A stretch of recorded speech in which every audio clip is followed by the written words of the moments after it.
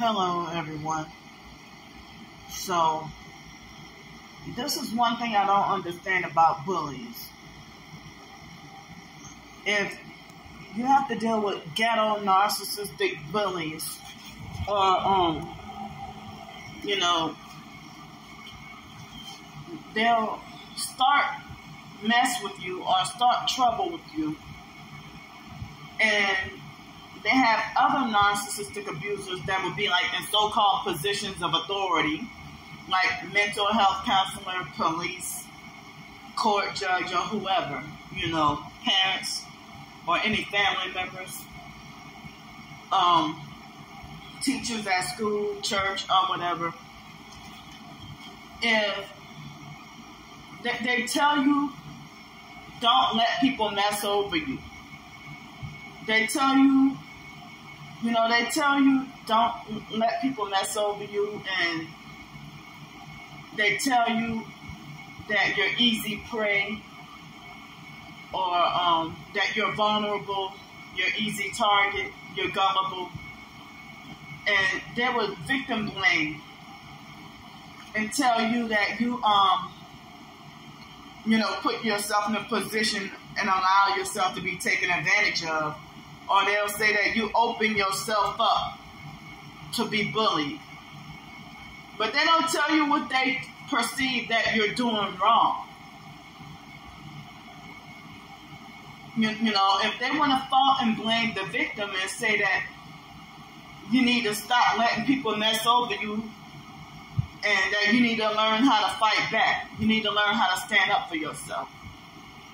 Or you need to learn how to start putting people in their place. But then, when your dudes try to stand up and fight back, they will try to tell you that you were wrong for getting on their level and engaging with them. That you were wrong for engaging with them and getting on their level. It's like you feel like damned if you do, damned if you don't. So, I mean, if you try to stand up for yourself on the internet or online, um, the one who started it and the one who's bullying you, their account is invincible. It's like you'd be blocked from even being like you. It's like you blocked or don't even get the opportunity to report what they're doing to you, or the social people who own social media they want to, like TikTok will lie and say that the person harassing you committed no violation when they have blatant, clearly breaking the rules. But if you expose what they did or if you fight back, or if you say that, look what this person said to me, and then, oh, look what this person did to me, and then they will still falsely report your account for breaking the, breaking the rules when you I'm like, no, no, I'm not telling this person that. I'm saying this is what's done to me. They are making these false allegations and lies about me. Look at my previous TikTok video right before this one. So they're saying the hate stuff to me. And then when I put it up, they will falsely report it, falsely report me for the harassment. They don't want to be exposed. So, I mean, for exposing them harassing me. Just like when you be covertly harassed with a gang stalking in your town or in your neighborhood, um, you get harassed and bullied and gang stalked when it's clear, obvious gang stalking and then the fakes want to say ignore and don't engage.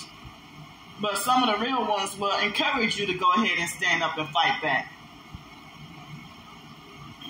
And so then, um, you know, on YouTube, it's more like the same thing. And on Twitter, it would be the, or any other social media, it's the same thing. Where the bullies, even their fake throwaway accounts, it's like as if they're invincible nothing happens to them. and then they get pray, fake praise and thumbs up, likes, comments, shares, subscribers. While they feel like I don't deserve any likes, comments, shares, or subscribers, or followers, or anything, they want to make sure it's to the point where I have nobody following me. But you say that I'm so disgusting and annoying and everything, but you've been stalking me for four or five years and stuff. So the fake TI perps, when you get into an altercation with them, they are worse than the regular perps, or they come harder than the regular perps, and they make you feel worse than what the regular perps do. If you're younger than me and you're an abusive, narcissistic, fake Christian TI perp that pretend to be all fake religious and fake holy, fake Christian, and telling me don't curse and stuff like that. But then the moment we get into an argument, you know, we might not say anything or I don't mention your name for eight months. And then afterwards, just randomly, I get a new place finally off the streets and you're flooding my um my videos with harassing comments with fake throwaway accounts. You're younger than me, and then um, you start with me and and then if I um strike back or defend myself, then you want to say, keep my name out your mouth, or you. I mean, and you're a man trying to one up a female. That's disgusting. And then trying to harass, bully, and try to discredit somebody when if you cry and complain about yourself being targeted, but then when it come to me, um, and then they want to be like, oh yeah, even if you don't mention my name, I know you, I know it's me you're talking about. But you sitting there, you know, harassing me unprovoked for no reason. For no reason, I haven't even bothered you. I haven't said anything to you or about you. And um, they have some regular perps who leave you alone for like almost a year and then come back 10 times worse with the bullying, the cyber bullying, the online bullying and harassment. They come back 10 times harder than what they originally were. Like just very vicious. Like the like a bunch of wild dogs suffering rabies and you know attacking a buffalo with an abscess. Like that video that I that I um that I tried to share on YouTube. I try to share it. So, um,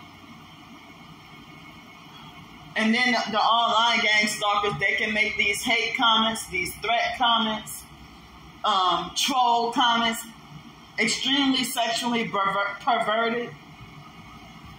And um, y'all want to police and control my behavior while y'all out of control. But how do you start messing with somebody or start start bullying and picking on somebody unprovoked for no reason, and then you don't even harass me yourself? You get a whole fake army, a whole fake cult gang army of flying monkeys to come and um, a whole pack of wolves to come and devour and harass me. And then you're a man doing this to a woman, and woman that's older than you. And then you brag about, ha ha ha, yeah, Candy knows not to mess with me ever again. Candy knows not to mess with me.